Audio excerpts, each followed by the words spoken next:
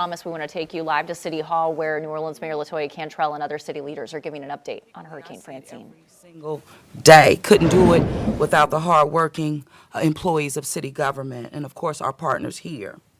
Our city, as you know, uh, we are resilient and we are ready um, in regards to the uh, Hurricane Francine uh, coming our way. Uh, just my administration, all of our partners, we just continue to lean in and do the work. Uh, very proud, just proud of the residents of the city of New Orleans. And as I moved around uh, yesterday, even through the evening, the, the people, our people, um, they're listening. Uh, they're doing what we've asked them to do. Uh, and of course, um, we're just, again, we're ready, we're prepared. Um, our visitors as well, thank you so much. We did see an uptick even in those uh, signing up for NOLA uh, Ready alerts. Um, as I mentioned on yesterday, because we have made solid and sound investments in our infrastructure, you know, we are prepared in much ways than we have ever been uh, before. Uh, we know that Hurricane Francine is expected to make landfall along central Louisiana coast uh, this evening as a Category 1. Impacts began last night and we know will last until tomorrow morning. Worst impacts for the city of New Orleans, and particularly our metro area, is expected this evening starting around 6 p.m. going through midnight. We're just continuing to urge all of our residents to shelter in place. This is the time, again, to hunker down. We're expecting heavy rainfall, gusty winds, and of course, the possibility of isolated tornado activity in the city.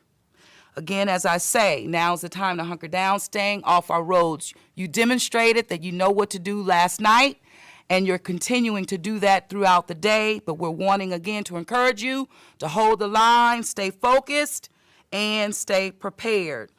Um, we're coordinating, as you know, with all of our partners, local, state, and federal. Of course, that includes our Louisiana State Police, GOHSEP, Army Corps of Engineers, of course, our Louisiana National Guard, FEMA, boots on the ground, just a holistic approach uh, and a unified command.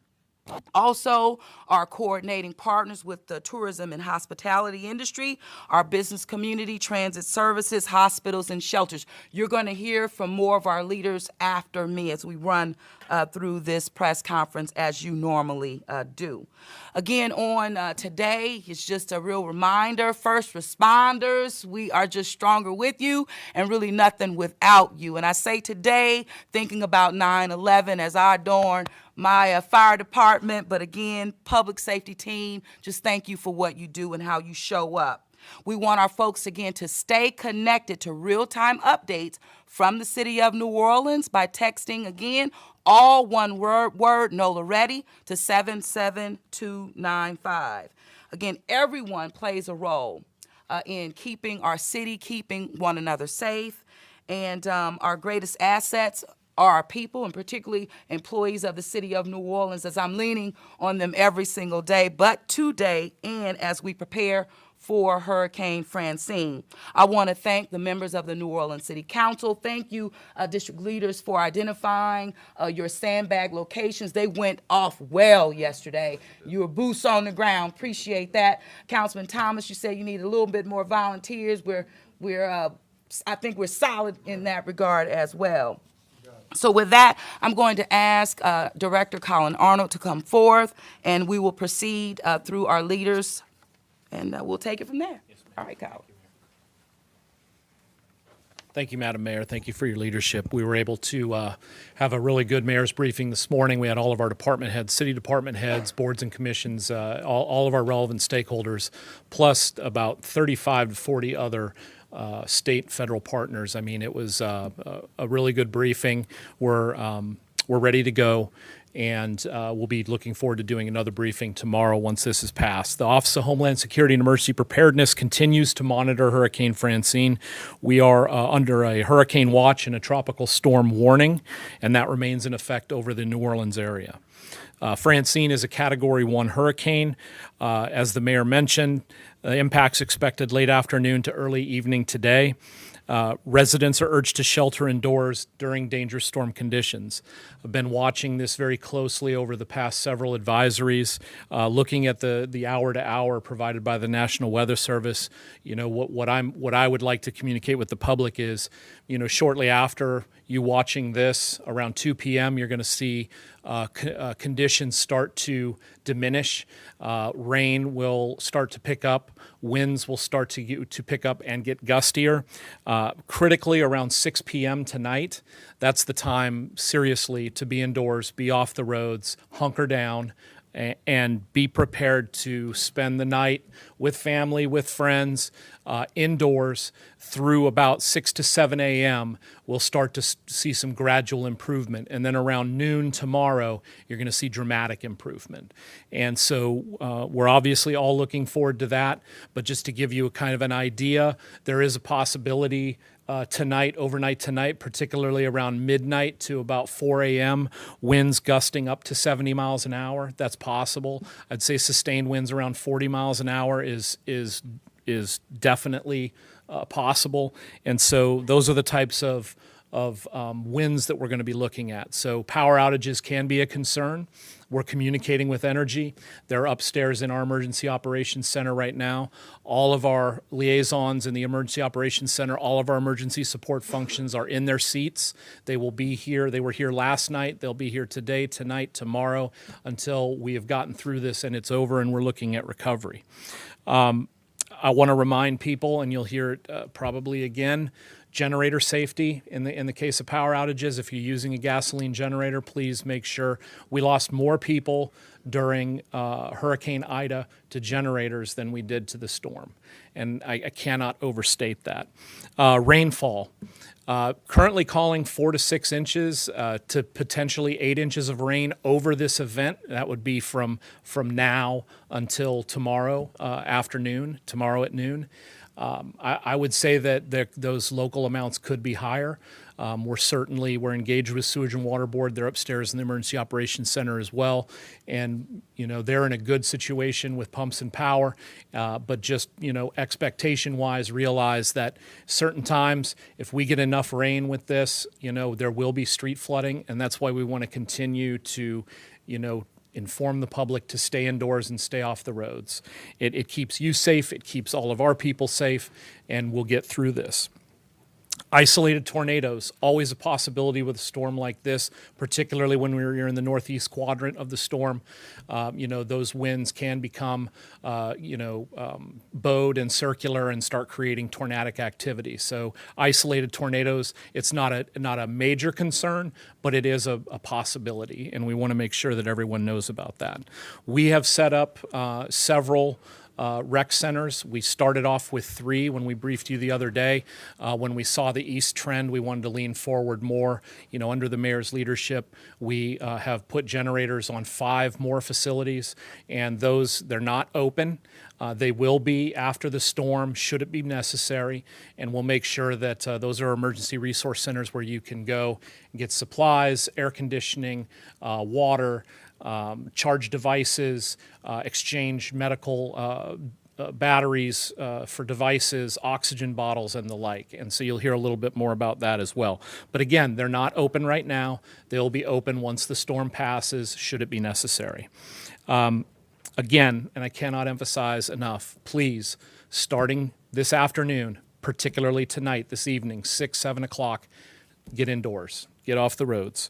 Um, residents, we've had a, a, a quite a bit of interest in NOLA Ready uh, emergency alerts, uh, which is always heartening to us. We have over 300,000 subscribers who have opted in to receive our alerts.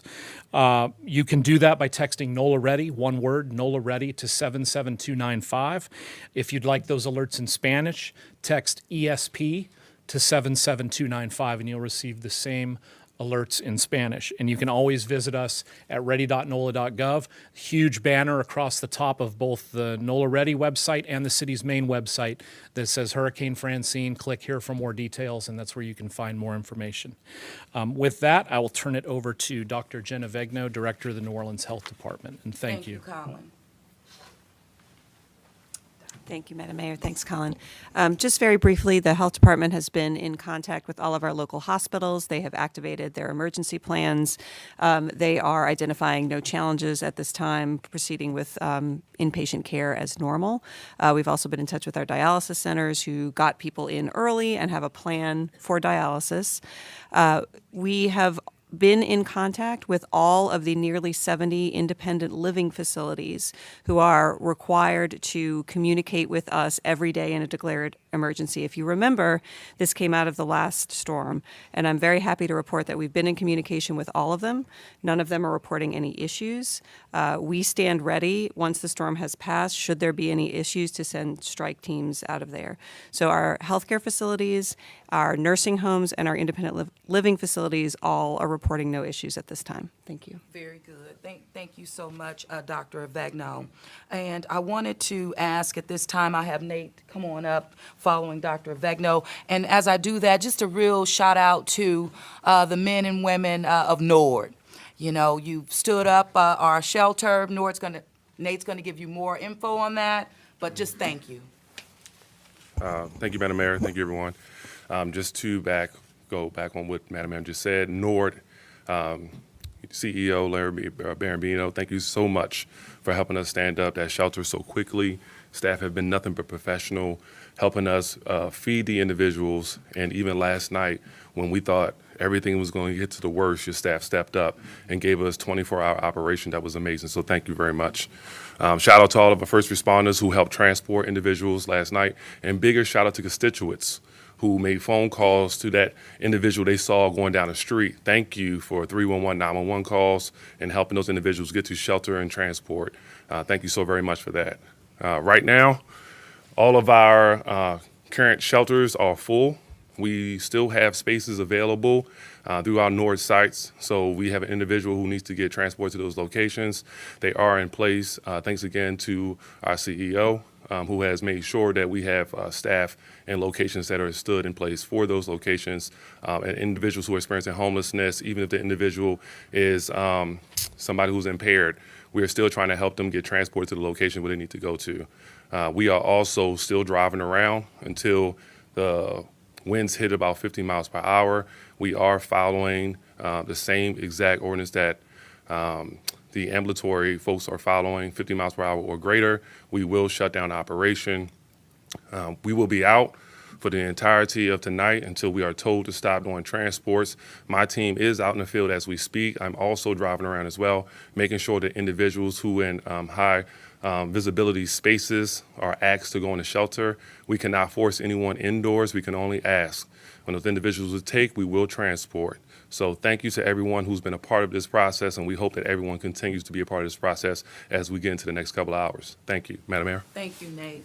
Thank you, Nate. And at this time, I'm just going to transition into uh, updates from council members who are present, and then we'll get into um, departments. Councilman Green, you want to start? Thank you, Madam Mayor, and I appreciate the fact that in this room there is gathered such a group of very motivated citizens who are providing resources to our fellow citizens. And I've seen that action happen just on yesterday. We had a sandbag filling episode on yesterday where we filled over a thousand sandbags and we had volunteers coming from throughout the neighborhoods to support their fellow residents. We had members of the New Orleans Police Department who stood with us in the rain and provided support all the way until the end of that um, episode of what we had on yesterday in terms of the sandbag distribution. But I've seen so much going on throughout the district. I want those who are watching to feel confident that there are a variety of individuals, a variety of workers who are well, willing to provide services to you, and they're doing so. I did drive the district this morning, my particular district, District D. I do want to encourage us all to not aim for 6 o'clock to be inside, but to be inside as early as you can. Just take advantage of the opportunity to shelter in place. I saw a number of cars that I think that maybe we have too many on the street. So let's just make sure that we recognize that even though there's a mention of the time of 6 o'clock p.m., let's get inside as early as we can. I do want to also take an opportunity to just say I drove the lakefront. I want to encourage everyone who is considering driving to just see what the site looks like of water coming over the, the um, seawall to not do so. At the end of the day, there's a lot of water in the street there, and you could be trapped. But I do appreciate the fact that we have a very motivated citizenry a very motivated group of residents in our city who are willing to provide services to others. Everyone knows someone, an elderly person or someone who may be infirm, who could use a phone call and be asked, How are you doing? Be sure to call me if anything comes up. Maybe you might have to bring them to a, the shelter, or maybe you might have to bring them some assistance. But that's what New Orleans is all about people helping other people. I saw so much the last couple of days in that regard, and I want to encourage everyone to recognize that there's someone you know who could need some assistance. I do want to thank Mayor Cantrell for putting together a great team because this team is in place in many, many ways and is working really hard already to make sure our citizens are safer. Those who are watching should know that there's a lot of support for you out there. Take advantage of the resources. NOLA ready. Take advantage of also the 311 option. Call friends and family, and let's get through this safely. And the last thing I'll close with is something that's a pet peeve of mine because um, our director, Collin Arnold, mentioned it the generators. Today, as I drove through the district and I went to a store or two, I saw people buying generators. Really, those generators should be installed by electricians. But if you're going to install the generator yourself, please read the directions and follow them to the to the T, if you will, because it's so important to be reminded that we lost more people to generator use and carbon monoxide than we did to the storm itself. So, Madam Mayor, thank you for this opportunity. There are a lot of things I wanted to talk about, and I'm glad you gave me an opportunity to do so. Well, you always do Thank a you. great job. And so we're Thank gonna, you. we're gonna keep the, keep the momentum going. Councilmember Harris. that. But very briefly, uh, thank you, Madam Mayor. Thank you for having us here today. I do want to give a shout out uh, to DPW, to the Sewer and Water Board, and to the Dryades YMCA. This isn't a competition, but we gave out over 2,000 bags of sand uh, to about 400 cars and people walking up. Um, and so I just want to give a shout out to the folks who made that happen. We had a cadre of volunteers, including uh, people from JP Morrell's office, my office, and we had a wonderful event. Um, just a couple things from my end. Please make sure you secure your trash cans, your potted plants. Those things can become airborne um, when high winds arrive. Also, it is the law that if you have pets outside, you must bring them inside. Even if you have to put them in a kennel, make sure that they are safe and inside. Um, we need to care for our pets, our vulnerable people, um, and so just everybody, please stay stay safe. And thank you, Madam Mayor. Thank you so much. Councilman Thomas? It's amazing how the city comes together in, in uh, times of peril uh, and disaster. Uh, we probably need to use that playbook uh, every day. Uh, it's not a competition between our district. First of all, I want to thank all of the council members who participated in the sandbag uh, giveaway, but uh, District E, we did 2,500.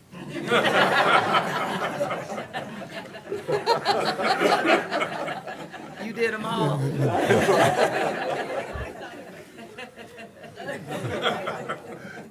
He called me yesterday afternoon I saying. said, could you please give us some volunteers? Yeah, but you know, when, the- when your people need you, uh, it it doesn't matter if your back hurts, your heart hurts, because when your community hurts, uh, it's time for us to get over whatever our pain is uh, and deliver. Uh, Deidre Kelly, uh, Dominique Lang Jackson, Darren Martin, Lena Stewart, Andrea Mumford, uh, from 9 o'clock until 3, 3.30 uh, yesterday, over 2,500 uh, sandbags. I want to thank the GOHSEP team. You guys came and delivered twice. Uh, we appreciated that. Uh, St. Bernard Project, uh, those volunteers who stayed out there uh, with us a while, Mayor. Uh, I want to thank the Archdiocese and uh, Maria Goretti Church for allowing us to use their facility. You know, I always tell people there's some value in being around, and I was telling the mayor and her team earlier, we've been through this a few times before. Been through it as growing up in this city. I've been through it as an elected official. But I think it's important for the press to know that this time, uh, this time the communication has been stellar. Uh, from the governor calling uh, me to check on our district, uh, from the mayor checking in, uh, to, to listening to Collin Arnold and the people we have here, And I will tell you, in the past, the problem was, whether it was because of the weather, the, or the event, the inability for critical staff and leadership to communicate with each other.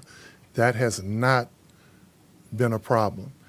Everybody who, who has played a role, who is playing a role, Madam Mayor, whether it's the governor coordinating, or you coordinating, or critical people coordinating, it has not been hard to get access. And for the press who's here, in the past, that was the problem. Katrina was a major problem. C- Critical and emergency staff the Friday before the storm couldn't communicate. Critical staff during the storm couldn't communicate. So that level of communication and collaboration is important. Mother Nature is going to do what she has to do.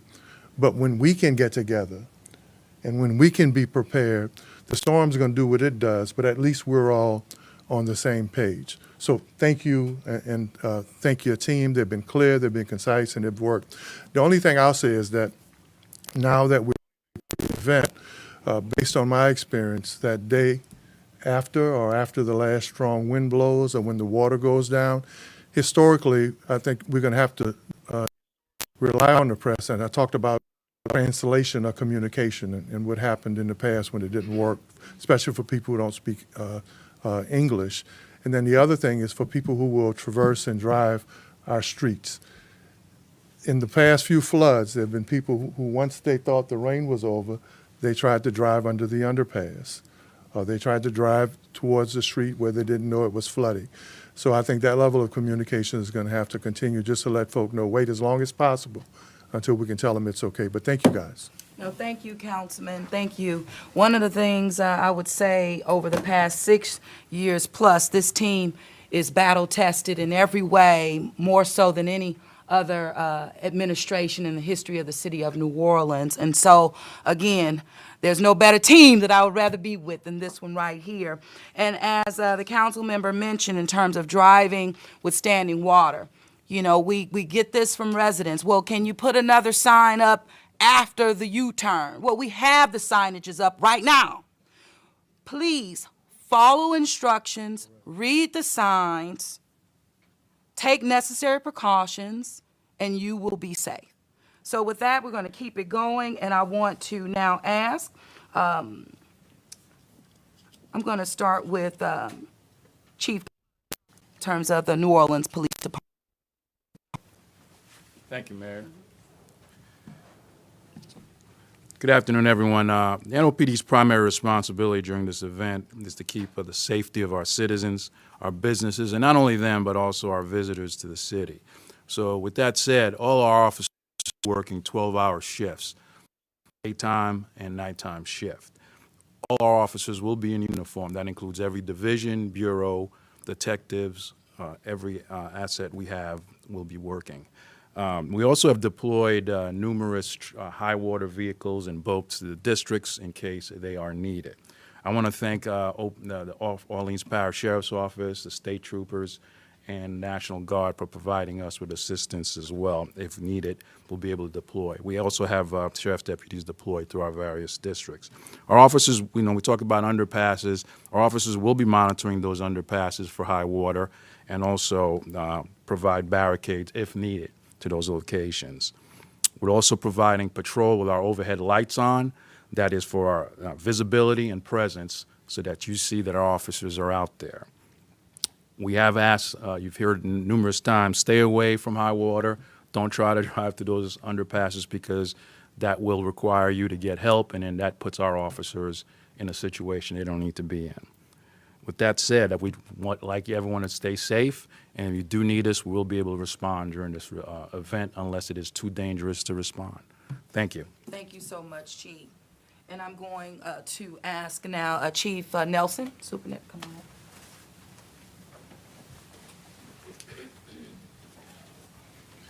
Thank you, Mayor, and hello, everyone.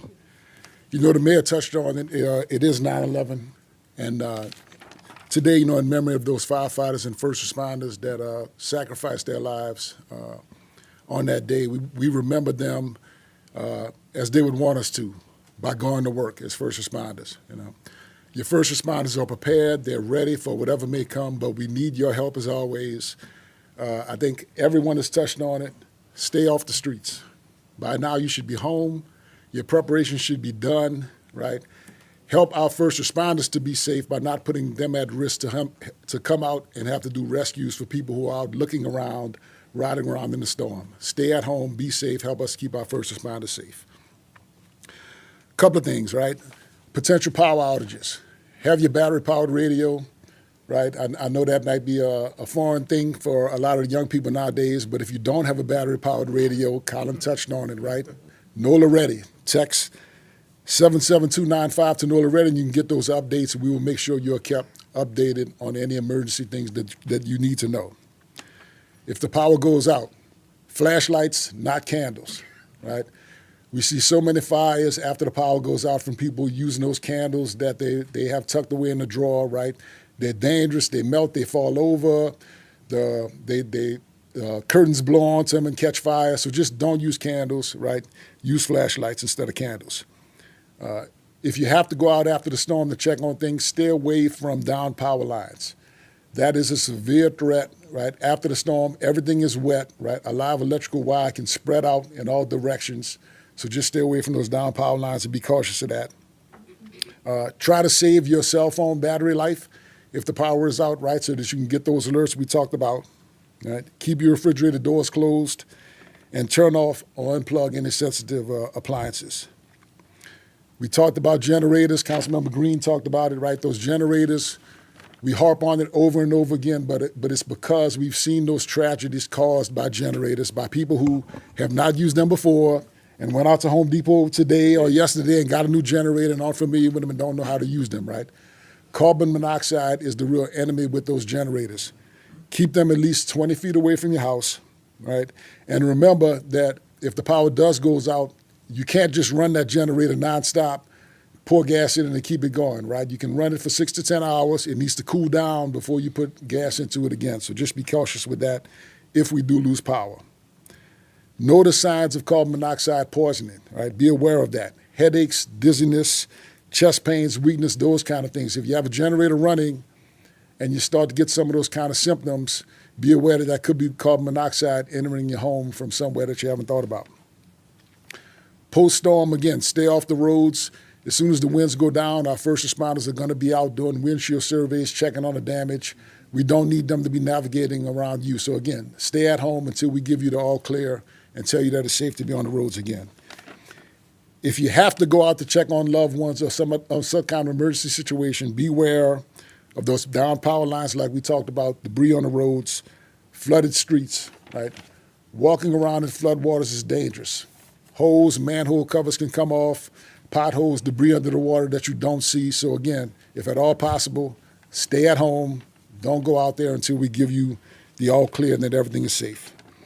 And finally, uh, if a traffic uh, light is out after the storm, remember it's a four-way stop. Right? We see that a lot. A lot of accidents after storms because the power is out and those traffic lights aren't working. So again, be safe, be cautious.